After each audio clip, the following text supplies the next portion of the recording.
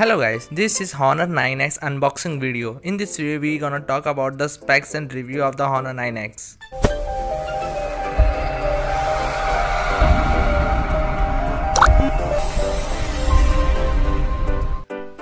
Let's guys start the unboxing of Honor 9X.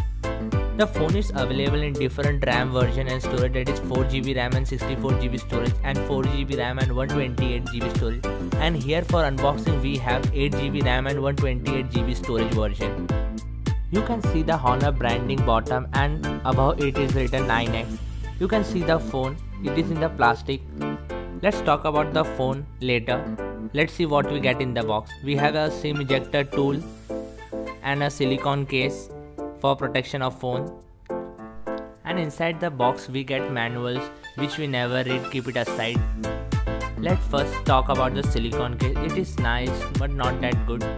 Let's first see the charging adapter.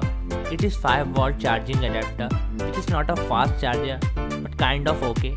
And then we have a usb type c port cable which is one more than 1 meter long Honor 9X recently launched in China on 23rd July and we expect it will launch in India after one month.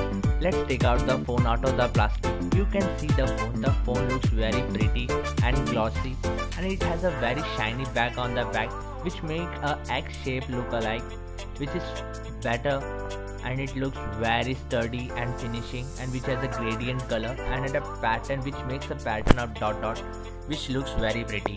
Let's boot up the phone. You can see the Honor branding and Antutu score is 216897 which is pretty good. The phone is 6.59 inch long which has a resolution of 1080 into 2340 which has a pop-up selfie camera of 16 megapixel which has an aperture of f2.4 and we have a volume rocker button up and down we have a fingerprint sensor mounted in the power button and phone has a dual camera. First camera is a 48 megapixel primary camera with f1.2 aperture and second camera with 2 megapixel f2.4 aperture.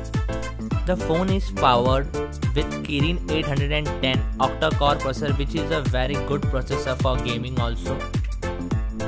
Let's talk about the PUBG review of this game which everyone want in today's. We want massive gaming features in every phone. The phone is powered with Kirin 810 which is capable of very high and capable of heavy gaming also which kind of very good in this phone which doesn't find any lag or any frame drop while playing PUBG continuously which was very good for this kind of phone at a 15 or 16 thousand price range which is kinda good. Let's expect the price what will be in india after its launch.